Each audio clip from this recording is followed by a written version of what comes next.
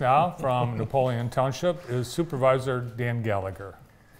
Good morning, Dan. Good morning. Good morning, Dan. How are you? It's fun to be here. Yeah. It's like being home. Yeah, first I want to thank you for arriving so early to get a lay of the land. I couldn't land. sleep. Yeah, you probably couldn't sleep with all the election uh, news uh, you were following, but uh, let's let me let's get started with just some general stuff. How are things going out in uh, Napoleon Township? Everything's good. As we are the 10th safest city in, in uh, all of Michigan. That's right. I Yeah, did not know that. That's amazing. It's due to, um, you know, the, uh, it was a timing issue. We had a millage with the fire and the police. Uh, it's because our building was paid off. Yeah. So the taxes were, uh, people hardly feel it. And, Yeah. and now our police and fire have uh, absolutely the best of everything, uh, Yeah. right down to the uniform to, um, you know, tasers and all this kind of Yeah. stuff. So we're, we're very fortunate to. Is it normal? Is it normal for uh, a township of, of your size for the police and uh, fire to get along as well as they do? Apparently, it's not. uh, but our uh, it works because our, our fire chief and our police chief, which I think both have been on the show a few course, times, yep. uh, they're they're amazing. They're great for our community. They're great for uh, you know. We really appreciate what uh, what they do for us out there at Napoleon Township. The J. Holly Fire Station, no relation. No relation. But that's a I common, that. I get that question a lot. Do you? Yeah. He gets that a lot too. Yeah, he was our fire chief for a long, long time. A lot of uh, uh, people got to uh, got to see these this fire station during the COVID uh, COVID nineteen pandemic because you guys used that as a vaccination hub, and I was amazed at uh, really the the staff there, the fire staff, how um, just courteous, how engaging they were. Um, really, the, the facility speaks for itself. It's beautiful, but um, what's the camaraderie like around that place with having such a beautiful new building, um, going into work, uh, and there's also you guys have new fire trucks. It seems like it's a good good time to There's be. a lot of stuff going Yeah. on uh, in Napoleon Township. We're we're pretty excited about. We just got our fire trucks, Okay. and um, barely been able to use them at all. Well, that's a good thing. Yeah, that is a good thing. um, the the the COVID clinics. I think we did over six thousand shots Wow. during the uh, pandemic. We, you know, the doors came up. I I think you got your shot I did. out there, and Yeah. you got your shots out Yeah. there too. Uh, so you just drove in, you never got out of your car, or they Right. gave you the shot right in the car, and boom. And I don't think there was anybody else in Jackson County that did uh, anything even similar to that. So we were we were fortunate to be able. Yeah. to be in that situation where we could do it for Yeah. people. People were scared back then. For They- sure. Yeah. Just could put a sign up. I got shot and sell shirts. I got shot in Napoleon. Oh, oh, yeah. The, I got safe, my the shot. 10th I safest I city in the. I got shot in the 10th safest city in, in Michigan. I don't think I'm going to do that. No, that would be that would be crazy. There was a, a, a vote in uh, Napoleon for uh, township trustee, and that would be, I think it's for someone to uh, uh, continue a, a, a seat that was uh, an appointment, Mhm. right? Correct. Dan Weimer? Yes. Okay. And he, well, he had no opposition.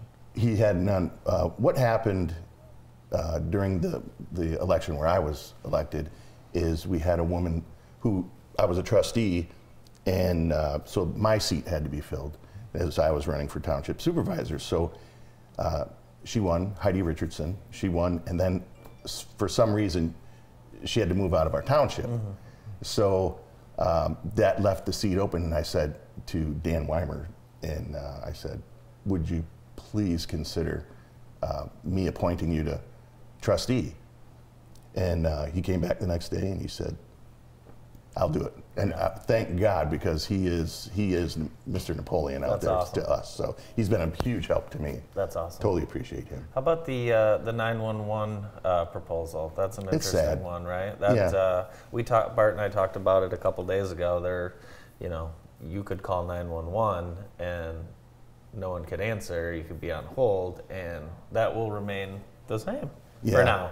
It was sad. I think the wording on the ballot was a little bit. People were thinking they were going to be charged three dollars. They were already being assessed on their phone bill $1.50. fifty. So we were just asking for another dollar fifty. Right. Um, I don't. I don't think they're going to have to come back and put Yeah. put it on the ballot again soon because we definitely need it. If you've ever called 911 and uh, been hung up on or been put on hold or something like that, it's uh, it's it's very scary. Yeah, picture, picture yourself in a situation where you're with a loved one laying on the ground and you need to call 911 and no one's answering. That's what you do in emergent in an emergency. You call 911. Well, I think you're right about the crowded ballot, and I don't know why uh, everyone in the state of Michigan votes for, say, the Wayne State trustees. We have no knowledge. I of these agree. people. I agree. What are we doing? Why are we doing it? I don't know. I don't think. I think that needs to be looked at. How many of those Wayne State trustees did you research? None, and the Court of Appeals and the, the- all of it. I mean, it's really. It's a lot, and it kind of mucks up what you're trying to do locally. And I think maybe you saw that a little bit. Of course, that's just presumptuous, but you know, I don't know. Some- So that'll go back to the that'll go back to the township. That'll go back on the on the uh, ballot uh, next time. The around. 911. Yeah, Yeah, that's a Jackson thing, Yeah. Jackson County. for sure. Yeah, Uh, some new things in Napoleon. You have a new restaurant. I heard is really good. we do. It's called the Crow's Nest. Uh, it's fantastic. Uh, it's a breakfast lunch place. Cool. Um, we need it. We and we love the owners. Uh, Yeah. And they're, they- they've been great to everybody, and we've been great to them too. And um, Yeah, it's you fun having them. They're right across the street from us too. There's been a lot of uh, nice new development and construction over the last five or six years, uh, especially on that M50 corridor. Some of the some of your uh, longtime businesses have invested, and uh, it's really it's made the area look a lot nicer, especially that main main corridor there. Yep. Uh, Aggies. you Yeah, know, Put the new out, Yeah. outdoor uh, patio, which is phenomenal. It looks great out Yeah. there. And uh, we have an, another company called Sabersoft that just went in. It's a house washing company. I believe you're familiar with Yep. those. With them, Yeah. they did your house. Yeah, for sure. So uh, and th- it's not built yet. The building is is almost ready, but it's not done yet. And uh, of course, Kelly Fuels uh, making that big investment with the uh, hardware store in the plaza and Yeah. uh, the galley and Kelly Express. And America's backyard, they keep moving. Are they uh, settled to where they are? Uh, They're- their final yeah, spot? they're- found their, their found their spot. final resting place. Yeah. They're, they're there and they're great for our community also. Dan also is uh, one of our JTV sports commentators. You can catch him on Friday nights, uh, mostly football, but we've snuck you into a basketball game. No, and I haven't, but I think We're will. going to I- this I year. think so. Okay. All right. Uh, tell tell us how you got uh, how you got started uh, calling games for JTV, and uh, you you like it, right? I love it. I, it uh, I, I was going to say I'd do it for free, but uh, you guys are here. We would hold you to that. anyway, um, I was a high school football official for 19 years Yeah. up, up in the Lansing area. And uh, Josh Burgett, a good friend of mine, Yeah. he said, Well, when you're done doing that, you know, why don't you try doing this? And I, I said, Well, that, that'd be great. And so one thing led to another, and, and uh, been calling uh, JTV football games for, uh, the, I think, about four or five Four or years five now. years for sure. Yeah. So it's it's absolutely been a blast. Uh, um, what's really made it fun this year is I, I got to do four uh, Napoleon Yeah, Pirate games, yeah. who are uh, 11 and 0 right now, which is fantastic. Uh, they're going to play uh, uh, St. Mary's in Yep. in uh, Monroe. Mon- Monroe, Monroe, yeah. correct. So is it hard for you to stay neutral during the yes, Napoleon games? yeah, I don't I don't stay neutral. No, and no, it's Napoleon's my place. That's right. That's awesome. it's kind of uh, it's kind of crap that Napoleon has to go on the road with an undefeated season down to Monroe. Uh, horrible with a de- field. decrepit Uh, field and bleachers. And Yeah, what I don't understand is that, that Napoleon and Monroe both had the exact same amount of points. So was there a coin toss? or- No, so what happened was the Cascades Conference came into play, and uh, teams, the conference, their the opponents' winning percentage came into play. So Uh-huh. Monroe's opponents had a higher winning percentage than Napoleon's opponents.